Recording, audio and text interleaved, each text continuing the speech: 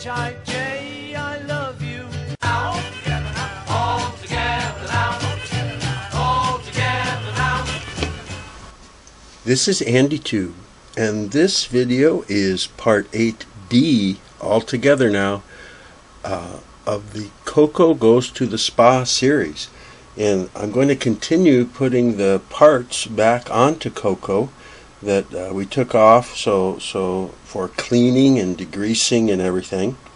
And I'm going to just start this part with the uh, uh, hand wheel parts, the hand wheel assembly that needs to go back on. And uh, to get started with it, I do want to put a little bit of oil on the end of the um, arm shaft here and the threads that the um, clamp stop motion clamp nut uh, screws to. Don't like to use uh, grease on any of those parts, but a little oil, and and I mean just a little. Uh, I just dip my finger in a little and rub a real light coating here on the arm shaft and the thread. I don't want a lot of oil on there. I don't want it um, hesitating when I'm winding the bobbin or anything. So just a very light coating and uh, one is so that the nut will go on and off easy and the other is just for a little rust prevention back in these uh, steel parts back here and uh, sometimes I will also put a little oil just inside the part of the hand wheel that is going to slip onto that shaft. Mm, but I don't want any oil on the Textolite gear. But before I slip the hand wheel back on there, I I like to uh, grease that gear while it's out of the machine. So whenever I pull it off, uh, you know, I usually clean it up. In this case, it was a full degreasing. Sometimes I just take a toothbrush and wipe off the old grease with a rag and so forth. But um, see if I can point this down a little bit here. What I, I do like to grease that gear before I put it back on because I can easily get the whole circumference of it. And I use the Triflow clear synthetic grease. This is a 3 ounce tube. tube. Uh, you can buy smaller. I don't know if you can buy bigger. But I've had this tube about a year now with all the machines I do. And I just use a stiff artist brush like for acrylic paint. And I just get little dabs like this uh, on the end of the brush. And then I just go along and brush it into the I guess what I'd call the teeth of that gear. If you've watched uh, some of my other videos, um, you know I don't like to over oil and grease because I don't think it does any good and it just collects uh, lint and dust and stuff like that. So on a on a freshly degreased gear like this, I might use three, maybe four of those little uh, blobs like that. And then in the future, uh, it won't take that much. And uh, most of the instruction manuals and repair manuals for machines that have a Textolite gear say once or maybe twice a year to put uh, some grease up there on the pinion gear of the end of the the motor shaft. And in a later video I'm going to do a I mean in later in the series I'm going to do a complete video of all the oil and grease procedures. And and I'll be showing that how you would do just a regular annual or semi-annual adding a little grease. But uh, for this one again since we we just totally degreased this I want to start it out with a pretty good coating I think one more of these little blobs on here will do it. I'm looking for any anything that's not a little bit shiny with some grease. And you know, I've certainly opened up my share of vintage machines and just found grease all over the place, up at the top of a motor and the pinion gear and the hand wheel and stuff, and and all different kinds of lubricants. And I like many people who work on sewing machines, I really like the Tri-Flow. Uh, it sticks to the gears real well. It doesn't get thrown off as much. It's got a real high temperature rating. And uh, I'm just real satisfied with it. So I think that's got a nice coating now. So I'm going to call it a day with the grease there. I can put that away because there's no other grease to go on up here in this area. And then I'm just going to take the hand wheel and slide it onto that shaft. Whoops. Go. Slide it onto the shaft. Now since I've already put in the motor, it's going to have to kind of mate with that uh, pinion gear. So, oops, might as well put those on now. Um,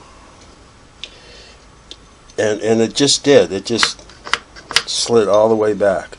And, and what you're hearing is this uh, metal ring right there hitting the back of the casting and the shaft um, bushing. So it's it's going to be uh, mating just fine. Sometimes when you get back to that pinion gear, you may have to push it back and forth a little or jiggle it or wiggle it but it's it's it's in there good now so I don't have to worry about that and then uh, the next thing that's going to go on after this is the uh, clamp stop motion clamp washer. And uh, this is the one that has three little uh, posts tabs that that stick up there. And, and that's for the clamp uh, clamp stop motion clamp stop screw to hit.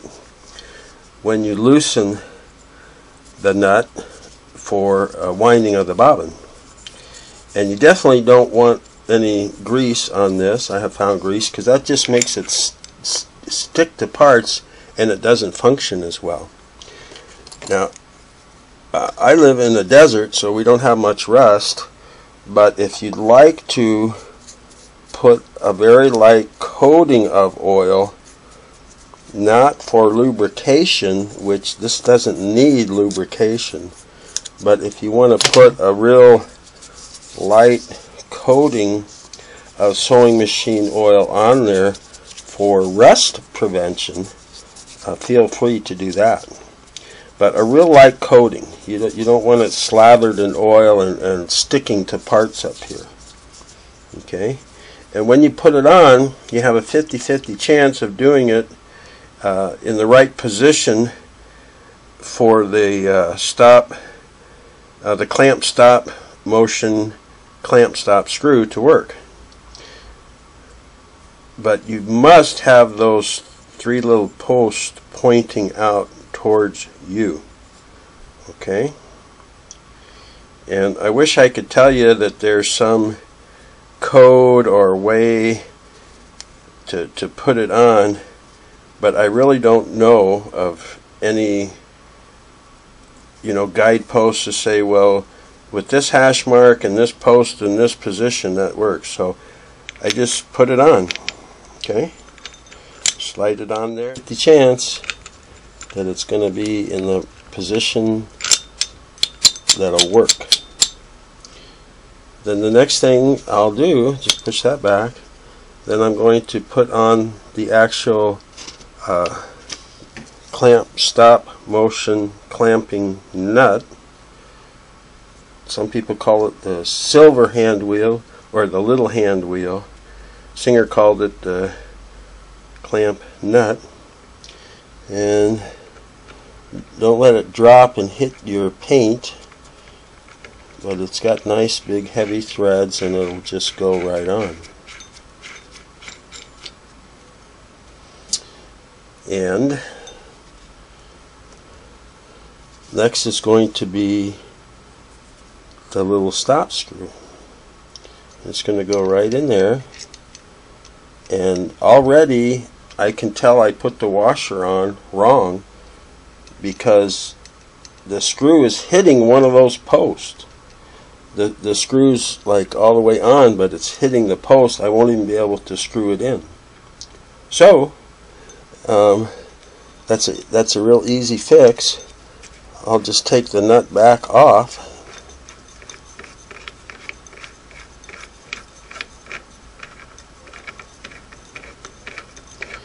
and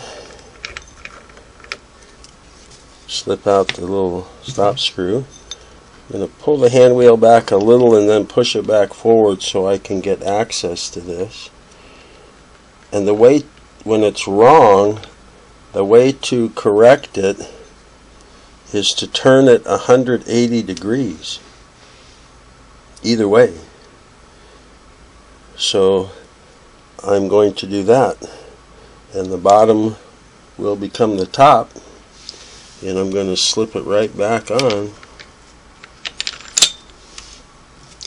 and then I'll put the nut on and this time I'll be able to put the stop screw in all the way and test it for function.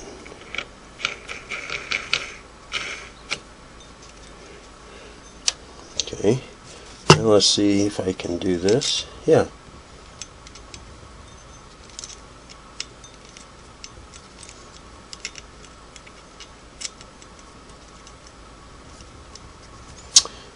Get a little screwdriver. Uh, screw that in. It's a nice smooth fit. And I just just tighten it. It's not holding anything but the screw itself. And then to test it, I will hold the hand wheel, turn the nut to the right, and then I will see by turning the hand wheel towards the front of the machine does the needle bar engage. And there it is the feed dog the needle bar everything is turning. So that would be the normal sewing motion okay and then I'll come back here hold the hand wheel and turn the nut counterclockwise and it just goes a small turn until the stop screw is hitting one of those posts on the washer. So that is enough to disengage that clamp and stop the motion to the arm, but will allow the hand wheel to spin. So when I want to wind a bobbin, put the bobbin winder up, run the motor, the hand wheel will spin, and the bobbin winder friction ring will spin but if I go back to my if I go back to the needle bar the uh, needle bar and the feed dog mechanism are disengaged. And the, the idea behind that is why run that mechanism uh, just to wind a bobbin. And it's also if you if you have uh, you know you're in the middle of sewing and have to wind a bobbin. Um, you know you don't you don't want to have to uh, move all of that stuff and and run that needle bar without a bobbin and mess up everything. So that's why there's a separate spool pin and and bobbin winder tension disc. You can you can turn that knob disengage the needle bar and the feed dog uh, put your bobbin up here on the spindle, run run your thread up to it, and run the motor and wind the bobbin without disturbing your needle and feed dog. So now it is in the right position, and so I'll turn it back clockwise, hold the hand wheel and turn the nut clockwise to tighten it, and that will re-engage the motion. So that's why it's called a stop motion. Because you're, really stopping the motion to the arm and thereby the needle bar and the and the vertical shaft down to the feed mechanism. So that's it. That's uh, pretty easy and complete. So I think what I'm doing now, let me grab the uh, light lampshade and we'll finish up with the front of the machine here. Okay. Okay. Get this maybe get this a little closer here. So I have my nice uh, clean light lamp shade with its blue glass focusing lens in here and I want to make sure that uh, the little screw and clamp let's see if I can get in the better light for you here the screw and the clamp that hold that are snugged up nice because you know the machine vibrates and it can work loose over time. And then since it's uh, metal and screw I'll go ahead and just put a light coating of oil for rust prevention.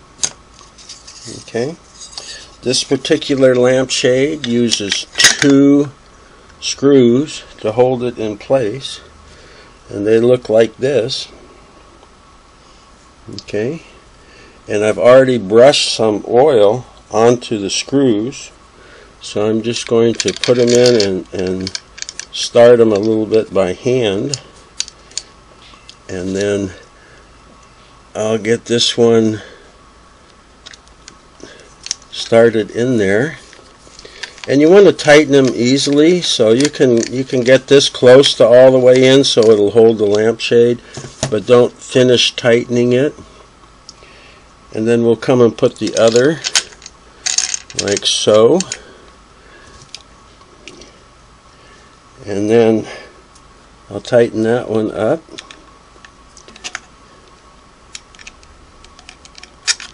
Oop. Let's see, I get this around here, maybe. Come under the camera. Hey.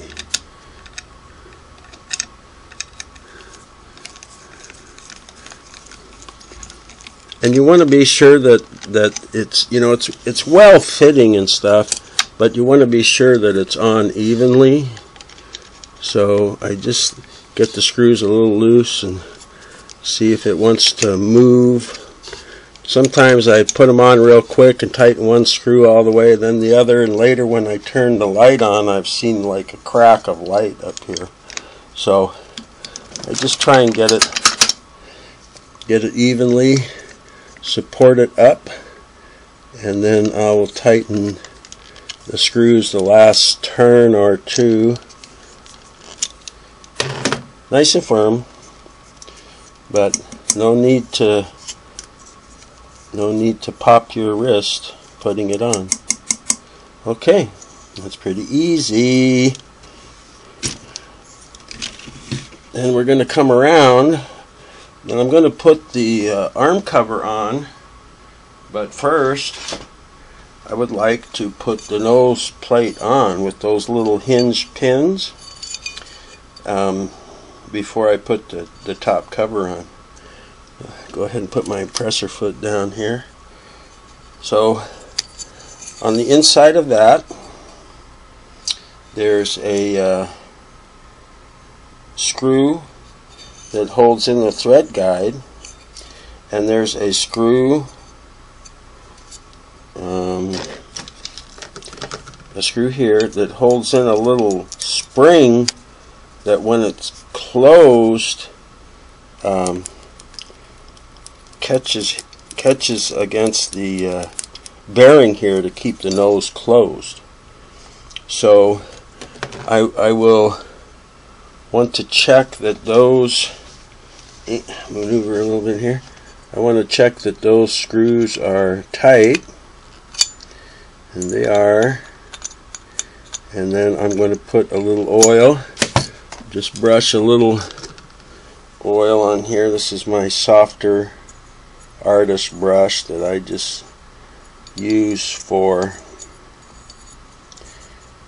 uh, putting oil rust prevention. Mm-hmm. Okay. Then uh, remember these little hinge pins?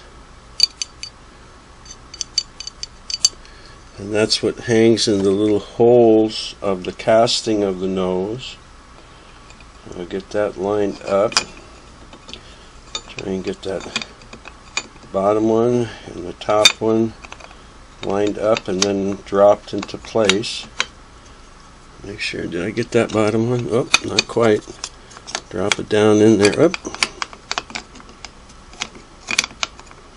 mm -hmm. This is easier for you when you're just sitting at your own machine. There we go. Now I got it in there. Yeah. Okay.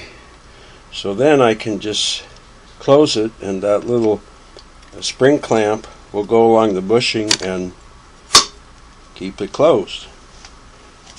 Very easy. Righto.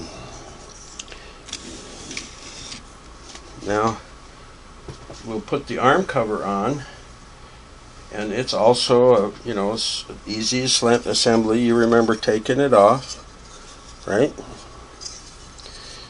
you see that there's some uh, hinge springs in here and you can see the little oil wicks this still has three of the little oil wicks so this one's missing. I don't know where you can buy those anymore.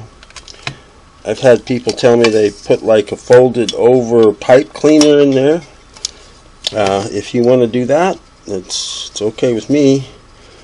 But I don't think it's necessary because when you when you go to oil this, um, you know, like say on a weekly basis or however much you need to, you're only going to put a drop of oil in in the future so if it falls right through onto the bearing or wherever it's supposed to go I, I don't have a worry about you know some people worry about dust and stuff and I don't. I live in a very dusty place here and I've never had that kind of a problem. But when I see that I do have the oil uh, wicks in there, I go go ahead and put a, a couple drops of oil on there to let them resaturate because using that Krud Kutter you know just totally totally drain all that out and I'll come back up in here and put the drop of oil and I'll talk more about this in the later in the series when I show how to do the regular maintenance oiling and greasing. But that'll do it for now. Everything's tight and a little coating of oil. So I'm going to come back up here and I'm going to put this on at a slant because I want to slide this opening under the pressure bar pressure adjusting thumb screw. Hmm? I don't want it to bang on that or anything. So I'm just going to tilt the nose end of that down a little bit and make sure that it's in the right place. Then I'll bring down the hand wheel end like that. Wiggle it around so I know that it's seated well. Then I'll take my two arm cover screws. I brushed a little oil on them and I'll just drop them into the openings for them give them a little twist, finger twist to make sure I've got them started. And then I'm going to tighten them up. And the same same thing, I'm going to try and tighten them evenly. Uh, get them most of the way in. And then kind of wiggle that arm cover around, make sure it's nice and flat. And uh, sitting good. Then I'll come back and maybe on the hand wheel side, I'll just turn it till it first stops. I'll turn this one till it stops and then just a wee bit more to hold it and come back on the hand wheel end and just a wee bit more to hold it. Yeah. Nice good fit, nice and smooth all the way around. Eh. On the back side here, and make sure that it's sitting nice and flat. It's not cockeyed or uneven or anything like that. Looks really good. So, uh, I already put the a throat plate back on to do uh, some of the other functions in the early videos. So what what's left here is just to put the uh, bobbin case on. But I think I'm going to, well, I'll, I'll show you that. Uh, you know, we took we took that off. I keep forgetting this is a rehab. So, see how can I show this better here. Put that with the thread coming off the top left about 10 o'clock or so. And I will pull that bobbin thread around until it starts to slip between the case and the spring. Is that too bright? Between the case and the spring. And then I'll pull it, holding the bobbin with my thumb, I'll pull that thread down to the end of the spring and the little opening. Okay? And then here's the the debate with the little a latch pointed left. Some people say just snap it on like that. And some people say that you hold the latch open and that that is to prevent the bobbin from falling out. And you slide it on that post all the way back and let the latch go. And then the latch locks onto that center post. Now, my wife disagrees with that. All of her life on her 15s and 66 and 99 and 301 now, she puts the bobbin in there like that. And then she reaches down and puts that center uh, post in the hole and she likes to hear it kind of like snap in place like that and I think it's because on a lot of the machines she's doing it by touch more than sight. So she likes she likes to hear that click when it goes on. Uh, me I like to do it holding the latch putting it on and pushing it back and letting the latch close. And it you know up to you. Totally up to you.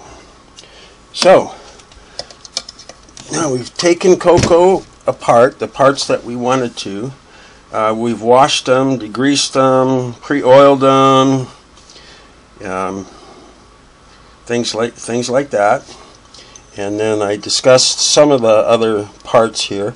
We put it back together. So we're, we're heading into our uh, home stretch of the rehabilitation. Now let me see what's next here. That's the end of 8D. Let's see what's next for part 9. Oh yeah. Sorry, I wrote this storyboard a while back, so I had to see what, what was next for sure. But part nine at this point, uh, for people who are, uh, you know, whether you're rehabbing or restoring or your machine's in perfect condition because you are the maintenance master, but you might want to do a little upgrade. Part nine is called Let It Shine. Let It Shine. So I hope you will turn in uh, for Coco Goes to the Spa, Part 9, Let It Shine. Thanks so much for, for uh, watching the series so far. I, I hope it's been worth your while, and I hope to see you again. Take care now.